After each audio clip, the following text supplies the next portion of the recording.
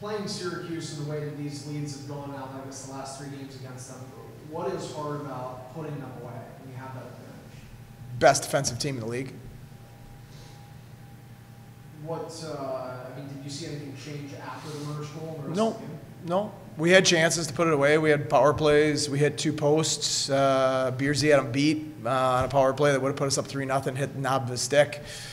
You know, you, you need that third goal. They're going to score. You're not going to. You're not going to. You know, it's hard to win one nothing or two two to one. I mean, they're they're a really good team, and this is an extremely deep lineup with now the best forward in the American Hockey League back in their lineup. So you got to find a way to get the three, and that's been the issue the last three games against them. We've played well. We've started well.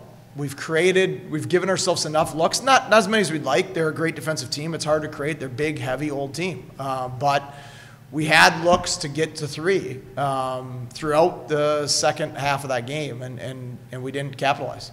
You talked uh, this morning about shots, and you weren't in love with the volume coming toward your goal. What did you see tonight?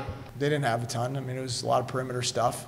Yeah, I think they only had 30. Uh, what do you guys, I guess, have to do to quickly flip the page now and, and get on the road in Belleville, especially what they did here in this building a week ago? Uh, We're playing the same team. Uh, Belleville and Syracuse are almost mirrors of each other, with, with maybe you know take out Barré-Boulet. Um, Belleville's excellent team, really really deep lineup, uh, extremely old, heavy, physical, eight veterans on it, um, and and you know. Uh, Syracuse is, is just heavier and stronger and better than us right now. And we got to change that. And we got to, our younger guys got to decide to change that. Last year, they were better than us at this time last year as well. And we decided we wanted to change it. But we have to decide that, you know, there's a high price to pay to score goals against teams like Belleville and Syracuse, a very high price. And you got to be willing to pay it. They just don't quit, Syracuse. Uh, they're just a really good defensive team that is old, strong, heavy, physical.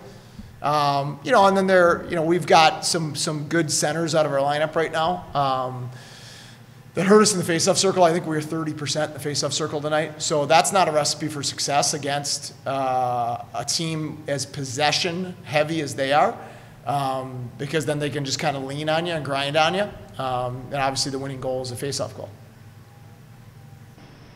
What's been the difference in Isak offensively, at least these last two? What's that? Difference in him offensively these last two, is there any difference, or they just?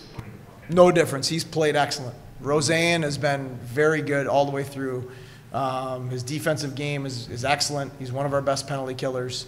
Uh, and he's created volumes of chances, four or five high quality chances a game. Um, sometimes they just don't go in, you know, or the plays he makes don't end up going in, right? So um, I don't think there's been anything uh, different the last two games. The short-handed goal Yeah. is mistake or pass into the skates or? Ah, it's passing the skates. Okay. Yeah, that's passing the skates. And uh, but I would say that that's one Levi's got to have. That that went in the middle of the net.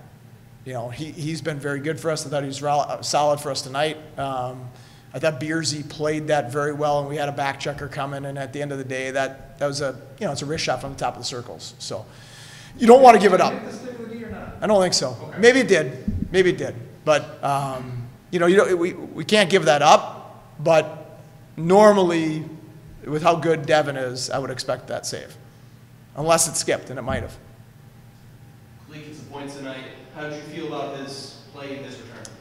I thought he was strong. I thought he was competitive. Um, he was on the puck. He fought for the puck. He made a really good defensive play to create the turnover to send Rosén in. Um, you know, hit the post in the second period of the power play. That would have been that would have been a big moment uh, to put that in. Maybe that was the first. I don't know. Um, but but I liked I liked his game coming back tonight. Another line that I was kind of looking at pregame, the Slaggert Warren line. How do you feel? They give us good energy, right? All three of them play fast, are competitive, they forecheck well, and they give you good energy in the offensive zone. The play on Brown in the corner, where there wasn't a penalty, is kind of a can opener. Yeah, it's not kind of a can opener, it's a can opener. Um, uh, but, I mean, listen, the power plays were four to one in our favor or whatever it was tonight, so um, the, the refs had nothing to do with that loss. But they did score, right? They did score. It was a big play. It was a big play because the because he was banged up, and then I don't. That puck doesn't go in the net if we're if he's back defending and and back into the pitcher. Um, and obviously that was a turning point in the game. And then you know they got a fluky power play goal, right? It it, it just bounced in off of uh, Finley's chest. So their first two goals to get back in it are a little bit fortuitous. Credit to them for having earning that those bounces. But um, and then and then you're in the third period in, in a one you know tie game with 10 minutes to go, and then at that point anything can happen. That kid line, uh, Jiri, Isak, and Victor, just what did you put together what did you think? Um, I thought they did some good things. I thought they were dangerous at times. I think it's you know against a team like this, they need to come up with more pucks. You know, and that's something that I think Rosie and Cooley have got a lot better at, and Victor is getting better at it. But um, you know, this is a heavy team, and, and it's hard to come up with enough pucks to keep you on offense sometimes. Um, why? I mean, we didn't have a lot of options today with the guys we had out. I mean, you're talking, um, you know, Kisakov, Jobst, Kozak, Jost.